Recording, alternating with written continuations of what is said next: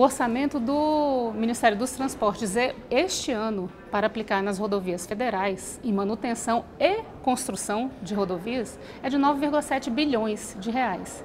Então, tem 8,8 bilhões de reais arrecadados com multas, né, que não são utilizados, não dão retorno nenhum ao cidadão.